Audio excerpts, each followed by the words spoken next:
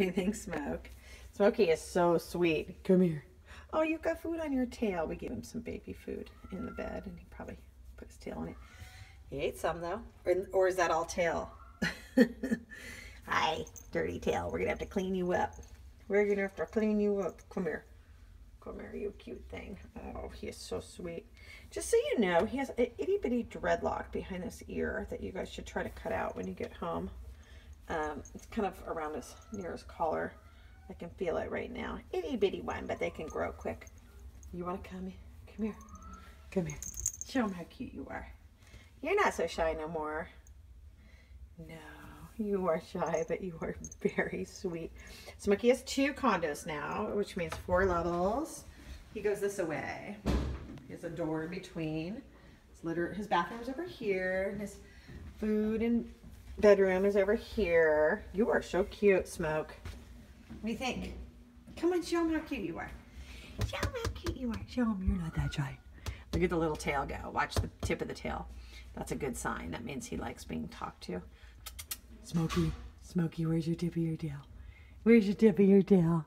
Come here. Come here. I get you. I want to get you. Okay, I'm going to pull you forward. I'm going to get you forward. Come here. Ready, go. Yeah. Oh, bellies. Oh. He's like leaning on me. Hi. I got your tail. I get your belly. I get your belly. Aw. I don't know if you can see him, but he's being super flirty and cute. What are you doing? Who's a cute kitty? You, you want to? Come here. Pop your head out. There you go. See, he's not always in bed. Now look around, Smoke. Smokey's a good kitty. You're not so shy anymore. You're doing much better. Still a little shy. What do you think? What do you think, Shrinky Dink? Here's your friend Sarah.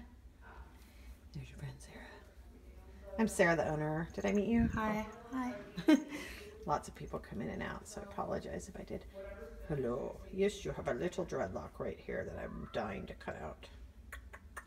You're very cute. You gotta be careful though. Oh, Smokey.